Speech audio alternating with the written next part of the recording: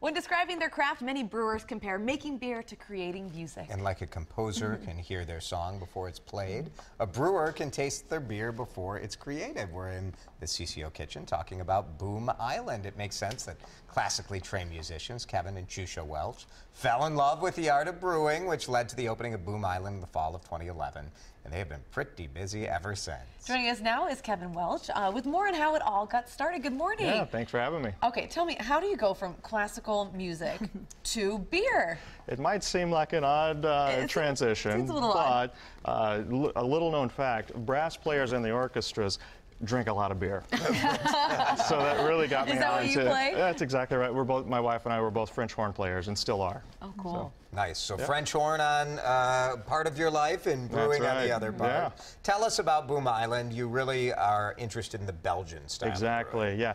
To me, uh, the Belgian tradition of brewing, which is what we've done from day one and will continue to do, is really the refined essence of what what uh, in the beer world classical music is um, to the to the music world. So explain explain what a Belgian beer tastes like to people who might not know. You know, that, that's uh, we, we only have how many minutes? Uh, th- this is the, the, Belgium is really uh, recognized for having the most widely diverse flavor spectrum in the beer in, in the in the beer world, uh, more than any other country. But And I always think of like a, a more refined flavor, maybe Smooth. a, a little smoother. complexity, you might Complex. find spices used. You Yeah. might find not spices, but yeast that act like spices.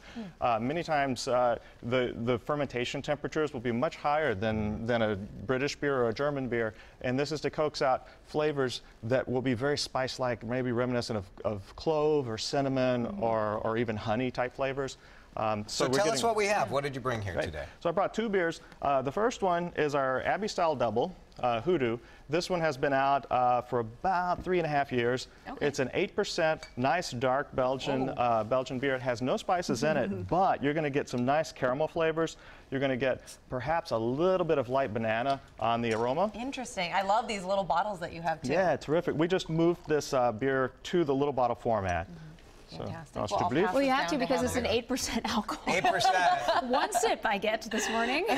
You know, don't, Quick sip. don't hesitate away from the uh, large bottles. It's two pours, but this one you can open, and then the remaining three bottles are still good to drink for the I rest love of the that. week. And how did you get the idea for why why Boom Island? Um, you know, it's right. This is the it's is the uh, landmark that's right across uh, the river from where we're located. Um, also, Boom is is the it's a little suburb of the city of Antwerp, which is where I was sitting in Belgium when I when I composed the first recipe uh, that I cool. ever Very released. neat. I this love is very nice. composed. Why are we drinking this in a wine glass? Um, the, this is where I was headed exactly with the uh, classical music connection. Perhaps Belgian beer in the beer world may be more like jazz, but it is a level of refinement that's a little bit above. It's got lots of flavor complexities, and it's going to be, the aromas especially, are going to be enhanced when you pour it into a wine glass. Very cool. Plus, They're it stronger. Makes you look really Oh, cool. you, look you look I much do more. feel very cool. Yeah. All right, Kevin, thanks so much. Thank we you. appreciate it. You can learn much more by going to our local Tap Talk blog on WCCO.com. Have a great profile of Boom Island and some of the other fantastic local breweries around the metro. Great beer too. Thanks, Kevin. Mm-hmm. Thank you. Monday.